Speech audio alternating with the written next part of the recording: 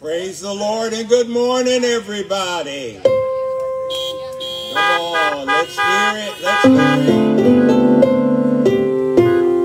I will bless the Lord at all times. God's praise shall continually be in my mouth. My soul makes its boast in the Lord. Let the humble hear and be glad thereof. Oh, magnify the Lord with me, and let us exalt God's name together. Let's hear those horns this morning. Make a joyful noise unto the Lord, all ye land. Serve the Lord with gladness. We thank and praise God for this wonderful day of worship, this 19th day of the sixth month of the 22nd year of the third decade of this century and third millennium. All Calvary family and friends day. Father's Day. Let's hear it for the fathers. Come on, come on. We thank God for Juneteenth. Let's hear it for Juneteenth today. Our day of emancipation and liberation in this land. We gather to worship God in spirit call to worship will be led by Sister Barbara Hackett. Following her is our psalmist Cheryl Shante, who will offer the offering, the opening song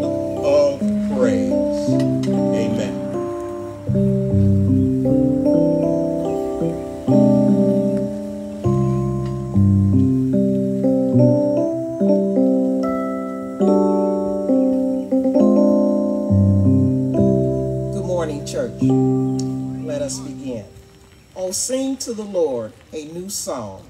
Sing to the Lord, all the earth. Sing to the Lord, bless his name.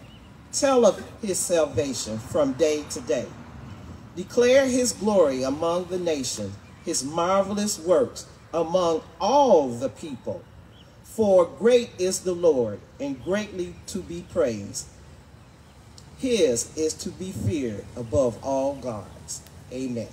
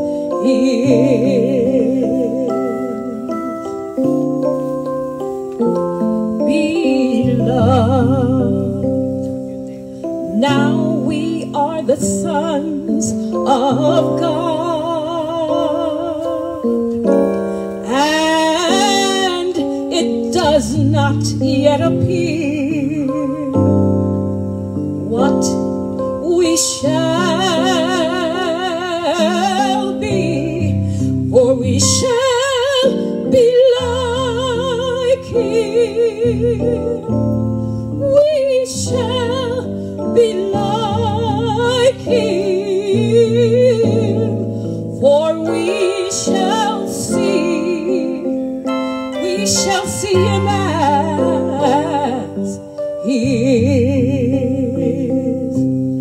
Oh, beloved, you are just a stranger here.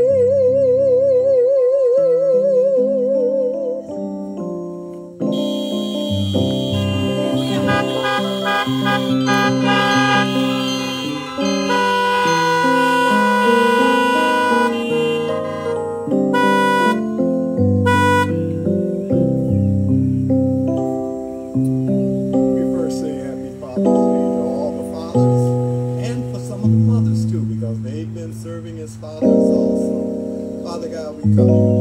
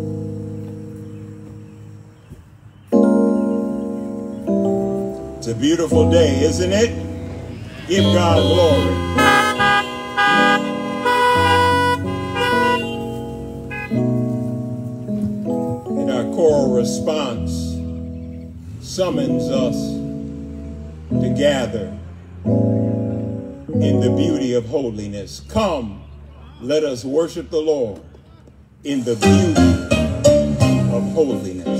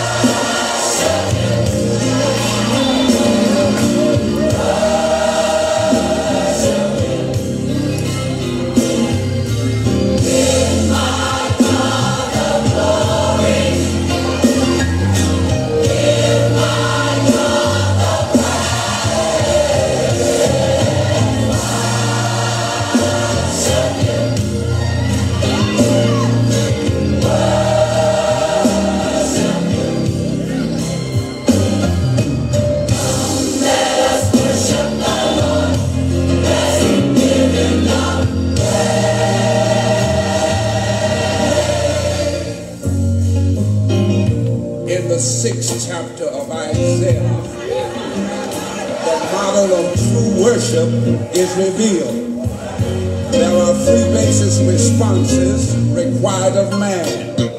We have to acknowledge God as sovereign. We have to see ourselves as sinners. We have to accept the saving grace of God. And we must answer God's call to serve. And I heard the word from the prophet saying, in the year that King Uzziah died, I saw the Lord lifted up, and his train filled the temple, and hovering about him were six winged seraphims.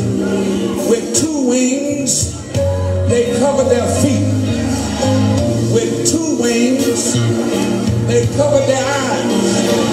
And with two wings, they did fly.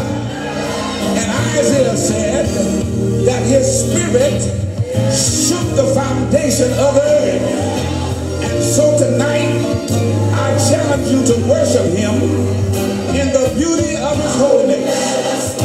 Oh, come, let us worship him.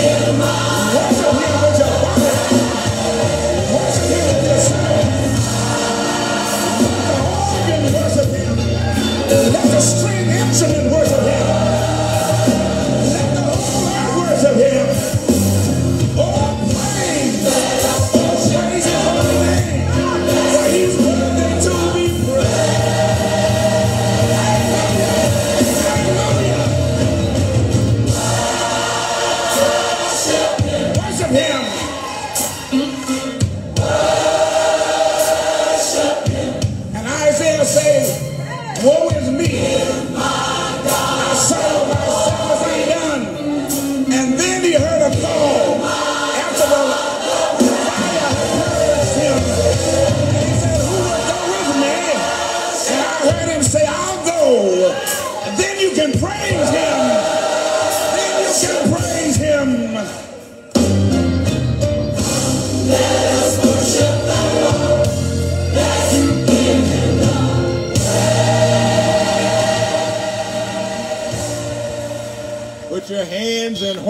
Together. Hallelujah. Come, let us worship the Lord. Let's give God the praise. The scripture lesson this morning comes from Luke chapter 7, verses 1 through 10. I'm reading from the New Revised Standard Version of God's Word. Your version may read a bit differently but we are depending on the Holy Spirit of God to help us arrive at the same point of understanding in Jesus' name. Luke chapter 7, beginning at verse 1, concluding at verse 10. After Jesus had finished all his sayings in the hearing of the people, he entered Capernaum. A centurion there had a slave whom he valued highly and who was ill and close to death. When he heard about Jesus, he sent some Jewish elders to him, asking him to come and heal his slave. When they came to Jesus, they appealed to him earnestly, saying, He is worthy of having you do this for him, for he loves our people. And it is he who built our synagogue for us. And Jesus went with them. But when he was not far from the house, the centurion sent friends to say to him, Lord, do not trouble yourself, for I am not worthy to have you come under my roof. Therefore, I did not presume to come to you. But only speak the word, and let my servant be healed. For I am a man set under authority, with soldiers under me. And I say to one, Go, and he goes. And to another, Come, and he comes. And to my slave, Do this, and the slave does it. When Jesus heard this, he was amazed at him. And turning to the crowd that followed him, he said, I tell you, not even in Israel have I found such faith. When those who had been sent returned to the house, they found the slave in good health. This is the word of God for the people of God. Thanks be to God. Let us pray. Lord God, we thank you on this great and glorious day for your wonder working, performative power through your word. The centurion said, just speak the word. Your word saves sinners, reclaims backsliders, encourages believers. Send your word fully and freely today. Touch, heal, deliver. Fill us so full of your love that it spills into our laps and then into the lives of others. Make the ground fallow for salvation today. May someone come and ask, What must I do to inherit eternal life? Do it for your glory. And we praise you right now in Jesus' name. Amen. Evangelist Shante will now come and prepare our hearts for today's good news. Put your hands together, honk your horns, give God glory.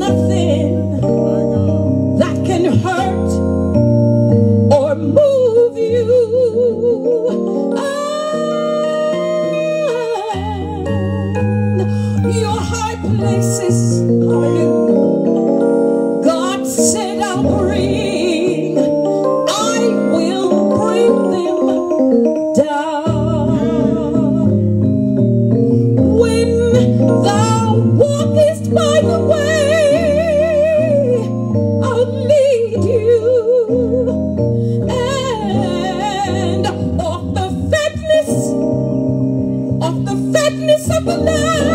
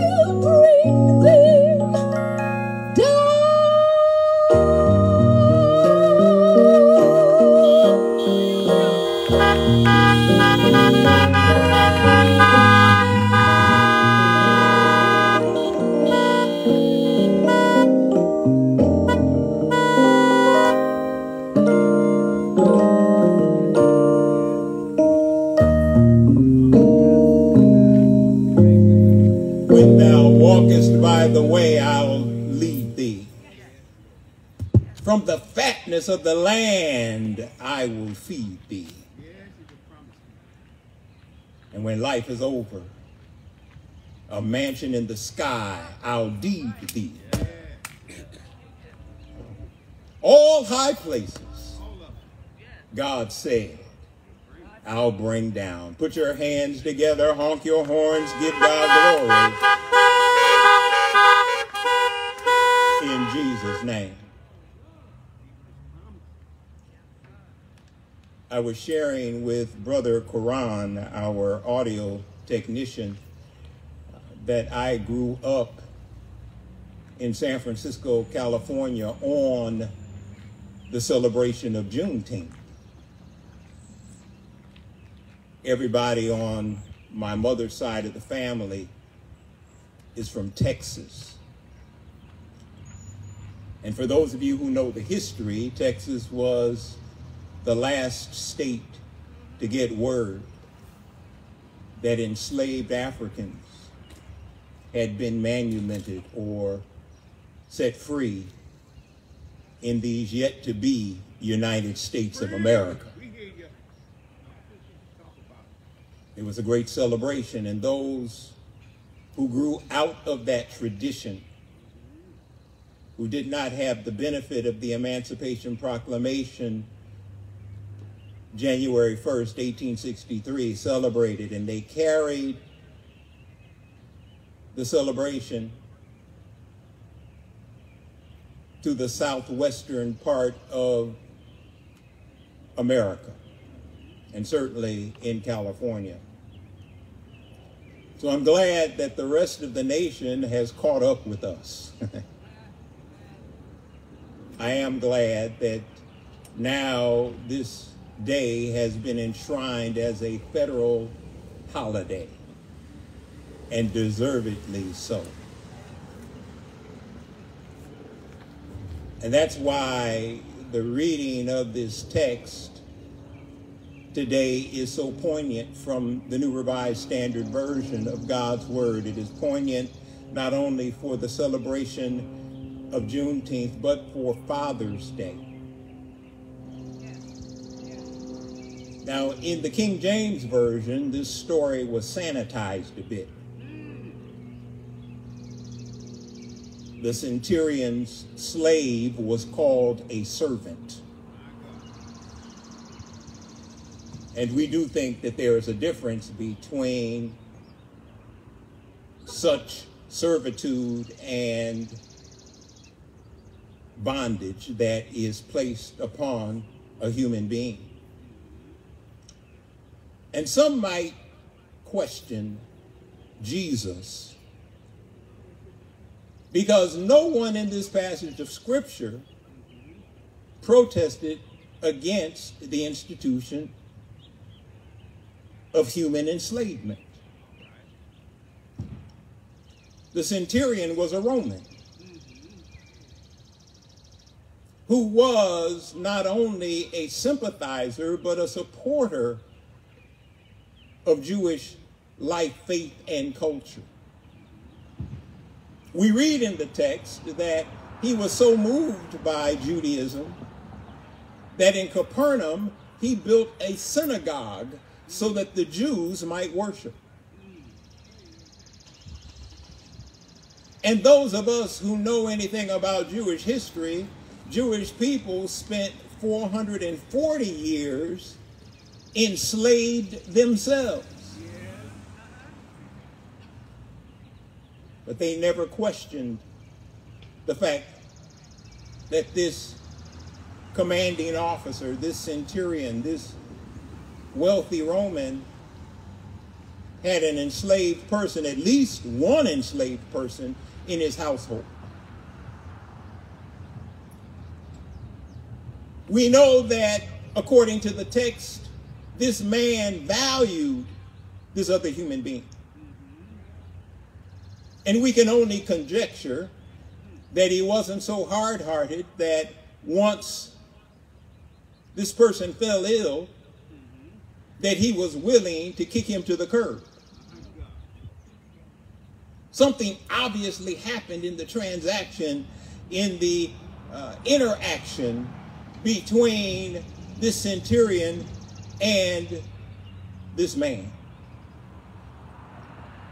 And although he was labeled a slave, according to the New Revised Standard Version, he was much more than that. All right, say that. Say it. He was a child of God. Yeah. That's big. That's big. It's important in this world where people tend to, e- to devalue each other that we know who we are. Come on. That's good advice right there. It's nice when people identify us properly, but if they misidentify us, if we know who we are and if we know whose we are, we can overcome, achieve, overtake, and overthrow anything that would separate us from the love of God. I wish Jesus had gotten into the weeds. I, I wish that he had lectured the centurion. I wish that he had told this man, listen, uh, let's strike a deal. I'll heal him if you set him free. I don't know why Jesus didn't have that discussion. Maybe Jesus had a bigger picture in mind, something that you and I uh, did not catch in the text. Maybe his focus was on healing the man, getting him back on his feet so that he could have a future. So the centurion sends two delegations to Jesus. First, he sends the religious leaders to Jesus. And they appealed. They said, you know, this is a good guy. He's not against us, he's for us. He's on our team, he's on our side. As a matter of fact, he built our synagogue out of his own pocket. What a man. What a man. So we want you to consider him. We, we want you to consider his request. I can only imagine that uh, these Jewish leaders themselves were allies of Jesus. Otherwise, they would not have come to him. They would not have had this conversation. And based on their testimony, Jesus proceeded to the man's home. But then the centurion uh, started thinking again, and he said, You know what? He said, I know that people think highly of me, but, but I know that, that I'm not all of that. Uh, I, I know that I have some issues. I know that I have some problems. I, I, I know that, that I am not yet right completely with God. And Jesus should not even come to my home. Uh, my home is unworthy of his presence. I, I don't want him to defile himself. but I know one thing that wherever he is, if he just speaks the word, All right. Lead. Come on, Pastor. My slave will be healed. So he sends another group of people who say to Jesus, Don't bother. The man doesn't even want you to come into his home. Not that he is, is ashamed of where he lives, but, but he knows that uh, you are holy and he is not. He knows that, that he still has uh, to make things right with God. And maybe even this uh, holding of another human being is a part of that process. He knows that the Spirit of the Lord is upon you, that you've been anointed to preach the good news to the poor, to set at liberty those who are oppressed, and to let the captive go free. Yes. Yes. So, so he doesn't want you, he doesn't want to presume righteousness by you coming into his house. But from wherever you are, just say a word. Speak a word. He knows that this human being, his brother, will be made whole. Jesus thought about it and then said, You know, I haven't seen this kind of faith in all of Israel. I hope that that's not the critique that Jesus has of us. But, but you and I need to fess up. We need to be honest. We don't always have a whole lot of faith, do we? Uh, we're, we're, we're close to Jesus, aren't we? Those of us who are in this parking lot and, and in the virtual congregation, we name him, don't we? We identify with him, don't we? But, but we haven't been completely persuaded that he's everything that he says he is. And every now and then, it takes somebody from the outside, somebody who is not in the inner sanctum or inner circle. Sometimes it takes somebody at a distance to help us understand how big God is. And this centurion nailed it. He understood the performative power of God. And when the second group walked back to the house, something happened. We used to sing a song. Uh, it was entitled Walk On by Faith Each Day. On Monday, walk on. On Tuesday, walk on. Let Jesus be your guide. He's able to carry the load. He can see way down the road. Walk on by faith each day. The folks walked. And when they got back to the house, the man was healed. The man was, according to scripture, the man was in good health. I don't know about you, but I'm so glad that, that Jesus has that kind of power. Anybody glad about it?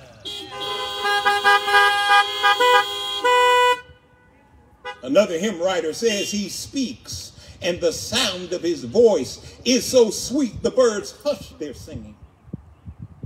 There's something about the power of the word of God and there is something about the power of the words of God. There is something about the name Jesus. Anybody glad to know that name?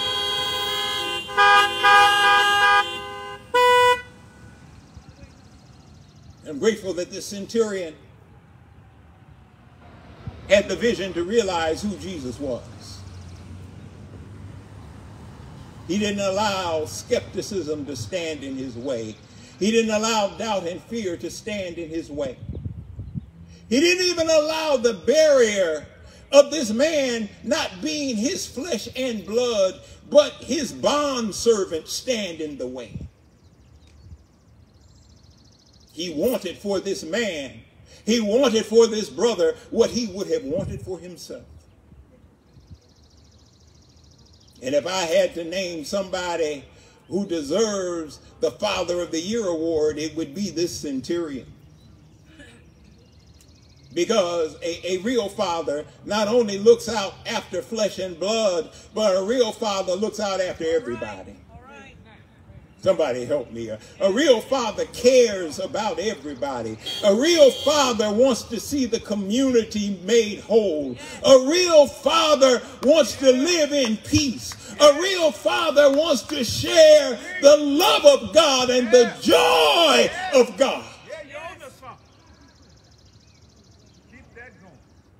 A real father. yes yes And thank God a few of us have come to know some regal fathers, haven't we? They got up early and they stayed late. They endured insult and injury. They brought home the proverbial bacon.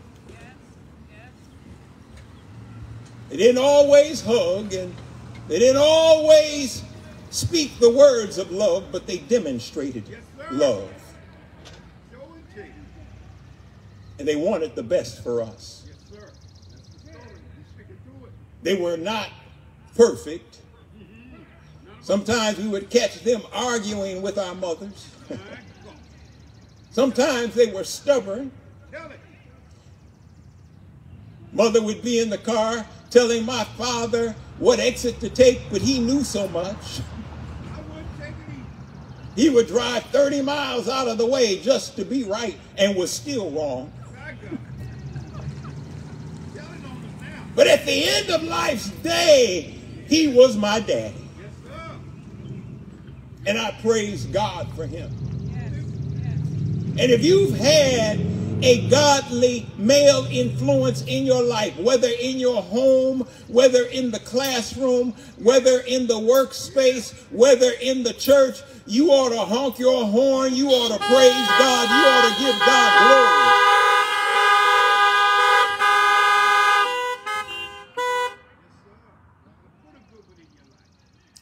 I know that that some of us are maligned, and I know that there is justification for it. Yes, sir. But every man is not a bad man. Come on, Say that. I, I wish I had a witness in here. Every man is not derelict. Every man is not missing in action. As a matter of fact, there are some men, and I'm saying this legitimately, they're taking care of several households. They're, they're making sure that all children are nurtured and cared for. And we ought to celebrate that today. And if we want to celebrate anything else, uh, I have told you that God is bigger than gender, but we can take time today and celebrate the fatherhood of God. Somebody help me up in here. I trust in God wherever I may be, upon the land or on the stormy sea. Though come what may from day to day, my heavenly Father watches over me. I trust in God. Yeah, I know God cares for me. Upon the land or on the rolling sea, though billows roll, God keeps my soul. My heavenly Father. Anybody know about that? Oh, if you know, you need to praise God. You need to thank God. You need to bless God. Somebody give God glory for being there for us, standing in the gap for us. Thank you, Jesus. Thank you, Holy God. Now I'll say this and I'll be finished. I'm so glad that, that God doesn't have to come down from heaven to see about you and me. Thank you, God. All God has to do is speak the word. Anybody glad about that? Aren't you glad? Aren't you glad? Aren't you glad when you call God by God's name, God hears and God helps and God rescues and God delivers? Somebody give God glory today.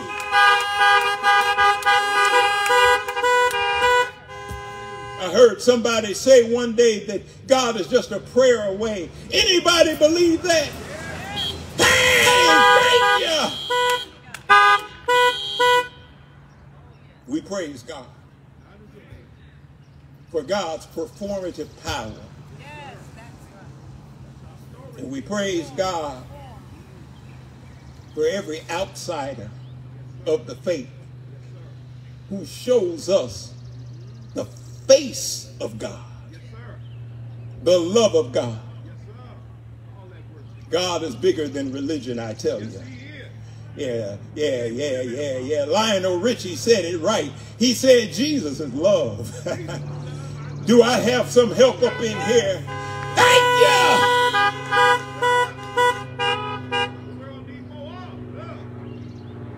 Happy Father's Day. Abba, as the Apostle Paul said, Abba, Father, Daddy, happy Father's Day we praise you. In Jesus' name.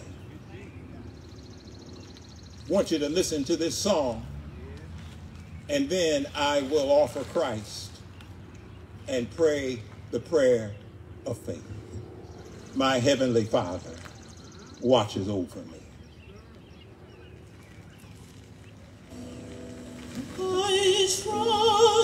Trust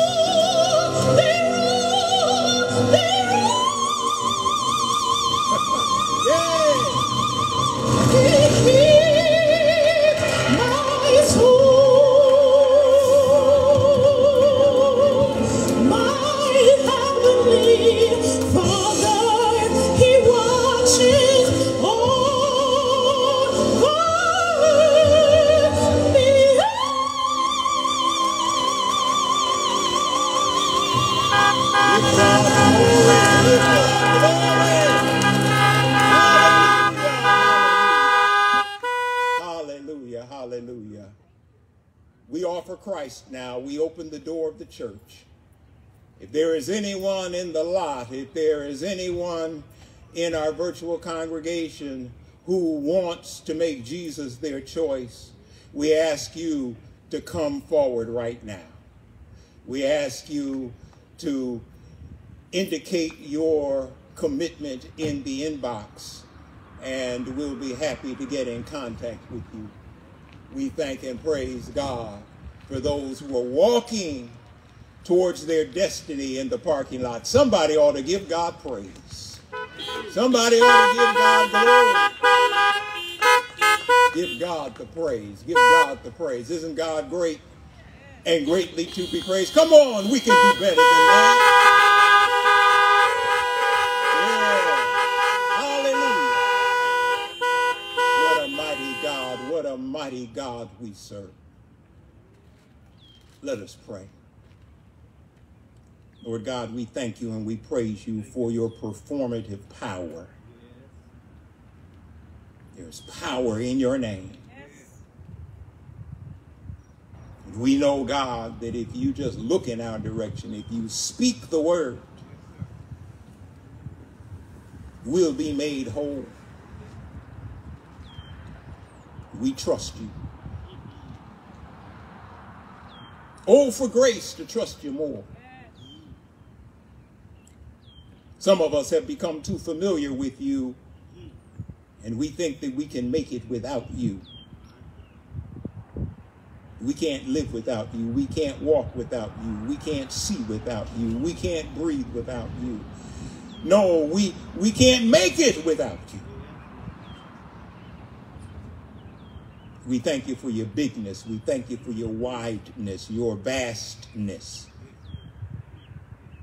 We thank you, Jesus. We thank you for moving in our direction. We, we thank you, God, for giving this congregation a new lease on life. We thank you, God, that on the 15th of June, around the one o'clock hour, you handed the deed to this property back to us. Free and clear. You did it. You did it. Praise you for it. Now, because you've done that, we know you can do everything else. Yes, sir. We believe in you. And we trust you for everything else.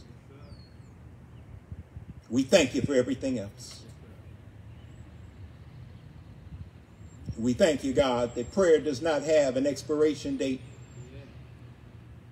We thank you for the ancestors of this congregation who prayed for this day.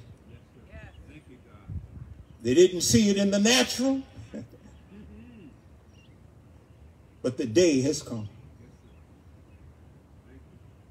We thank you, God, for our day of liberation, our day of emancipation. We thank you for taking us out of the wilderness where we have wandered far too long. Thank you, Jesus. And we thank you how you did it, and when you did it, and where you did it.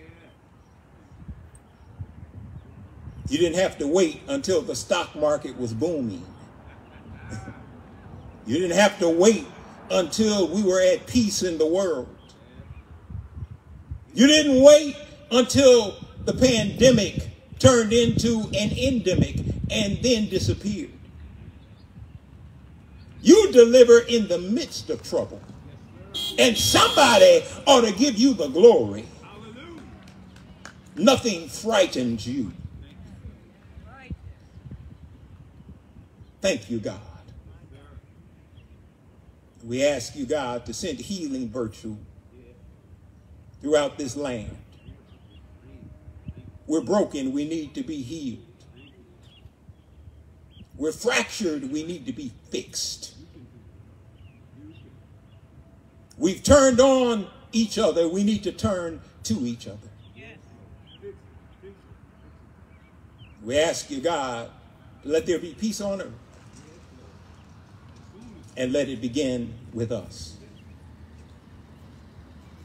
You have given us the solution to the supply chain issue. You've given us the solution to high prices of gas. You have even given us the solution to inflation. If we would just use what you have given us,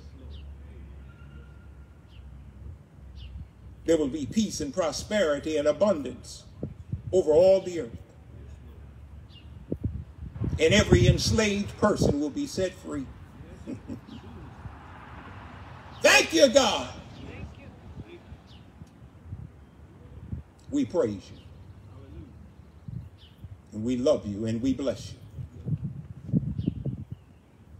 We thank you, God, for everybody celebrating a birthday in June, and especially on the 19th of June, where Sister Frances Hardin is celebrating another trip around the sun. Thank you, God, for her birthday today. We praise you. Glory. And we love you for it. We know birthdays have passed and we know that birthdays are coming. But we thank you for this day. Continue to abide with us. And we'll be satisfied. It is in the wonderful name of Jesus we pray and we say amen. Praise God and thank God. Put your hands together and give God glory.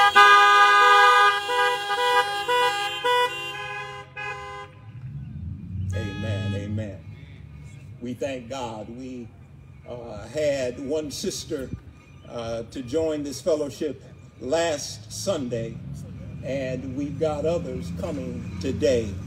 Put your horns together and your hands together and give God the praise.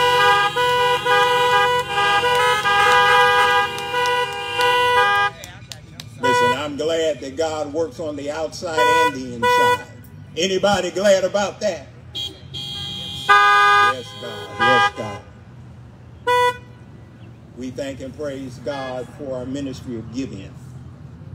And we thank God for the effectual, fervent prayers of the righteous. We, we give not out of ceremony and we don't give out of custom. We give out of faith and relationship. We give one dime out of every dollar, those of us who are so persuaded, because we believe and trust God. We give our free will offerings likewise. And it is my prayer that we will give even more now than we've ever given before. So that we can do the work that is before us. So we're going to ask the ministry leader if they will circulate the baskets. Give and it will be given to you a good measure, pressed down, shaken together, running over will be put into your lap. For the measure you give will be the measure you get back. Do not lay up for yourselves treasures on earth, where moth and rust consume, and where thieves break in and steal. But give up, give those things that are purposed in your heart, where neither moth nor rust consume, and where thieves do not break in and steal, so that where your treasure is, there will your heart be also as we collect the Lord's money, I, I want you to listen uh, to a narration by the sainted sister Edna Taylor. Praise God. When you enter life apart from God and His grace, that's isolation. When God comes to see you, that's visitation. When he unveils the mysteries of eternity, that's revelation.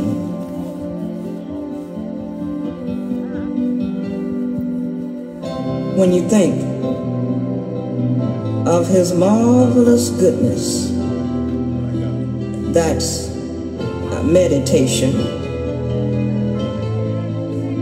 When you expect to see him, that's anticipation. When you feel his spirit moving in your heart, that's motivation. When you share in kingdom building, that's participation. When you tell of his goodness and his mercy, Yes. that's recitation. When you glorify and praise him, that's celebration.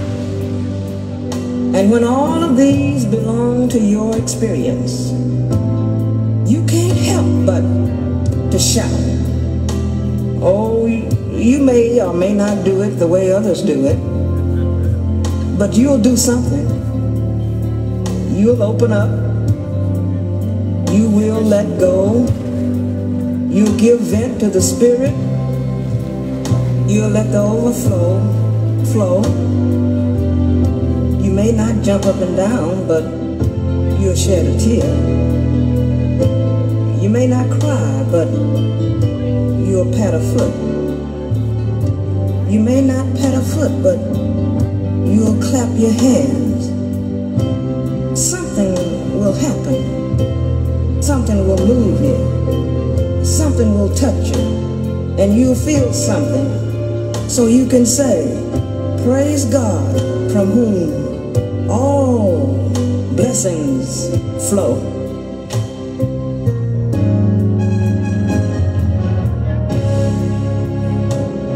Praise God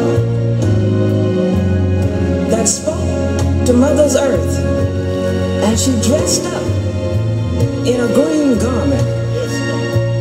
He rolled this terrestrial ball into space, baptized it with a liquid mist, laid out the green carpet on the earth, tacked it down with daffodils, snapdragons, lilies, roses, and trees.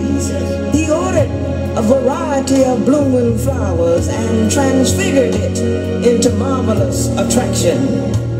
Praise God the one that deferred the counsel of the Holy Trinity and organized an angelic host to furnish music while the glory of his Father flooded the hills of Bethlehem, stepped on a heavily made airplane and rolled down in a low ground of sorrow, leaped into the Virgin Mary and was born one day in the city of David, wrapped in swaddling clothes and laid in a manger.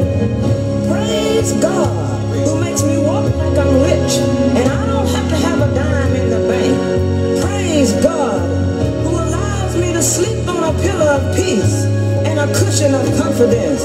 He opens doors that no man can shut. And if I'm running a little late, he'll hold them open until I get there. Praise God. He's our rock, our strength,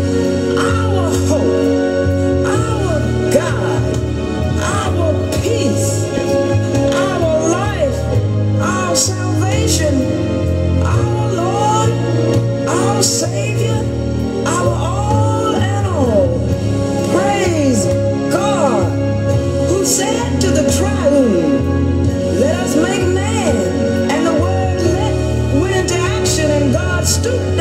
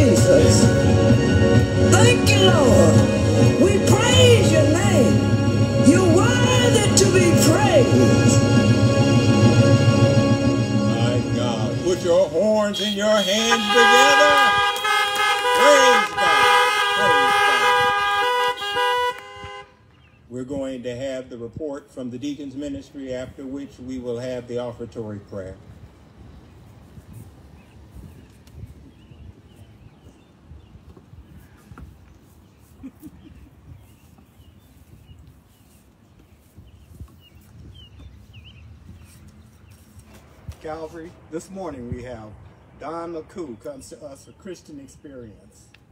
Uh, and our, and our second, second candidate is Evan Walker. He comes to us for Christian experience.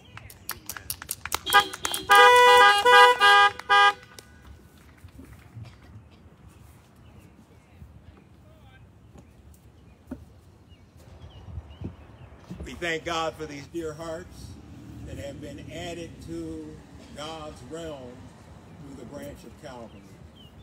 We will handle you with care. And we pray that you will grow with us in Christian love. In Jesus' name, amen. Amen. Praise God.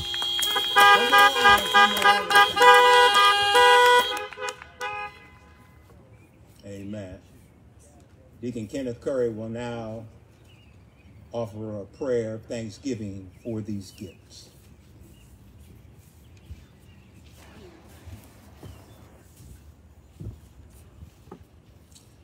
Praise the Lord. Praise God from whom all blessings flow. Oh, that what a wonderful dissertation that lady laid out singing uh, those praises. That's a big help to us.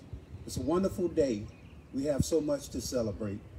Even when we don't think we have a lot to celebrate, we do. So happy Father's Day and happy Juneteenth. Thank you, Lord, for your blessings. Thank you for this wonderful service and everyone under the sound of my voice. We hope that this has been a blessing to you. We hope that God will inspire you and anoint your life to be a better Christian in his sight.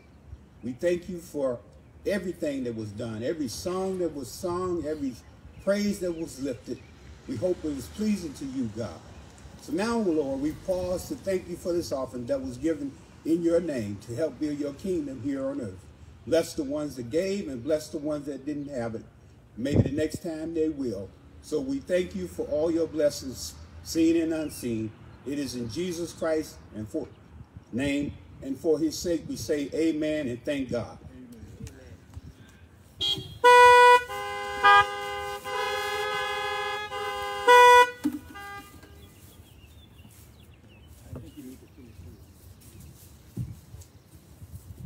We pray that we will celebrate this day of liberation and thank God for the progress that we have made, knowing that we still have many miles to travel and promises to keep before we sleep.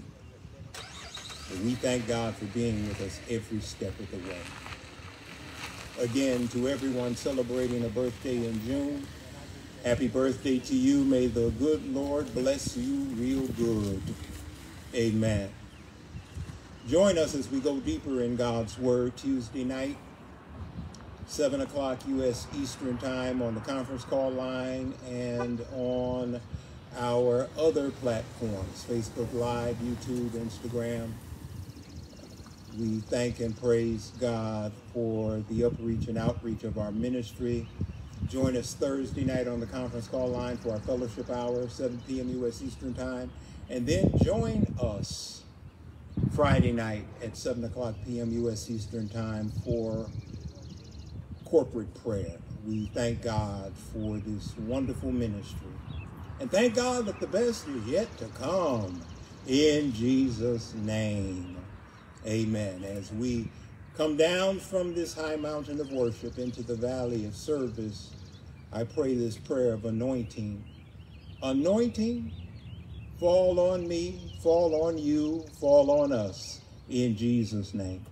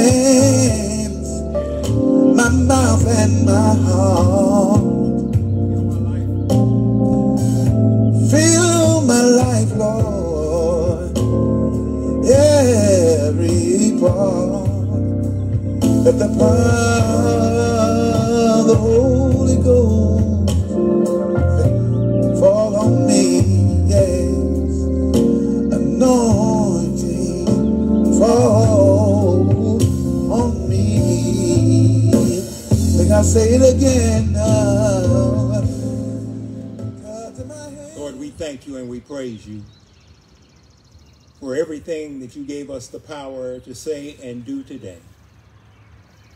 Send us from this place, never from your presence. We thank you, God, for our fathers. We thank you, God, for our father figures. We thank you for our mentors. We thank you for every positive male who has poured into our lives.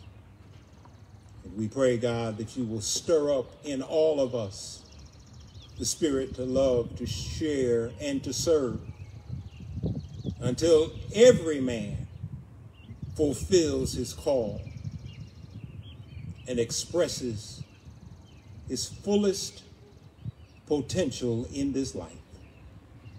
We love you and we praise you and we thank you. Thank you for Juneteenth. We praise you in Jesus' name. Amen. Praise God. Thank God. Go in peace and serve the Lord with gladness. Amen.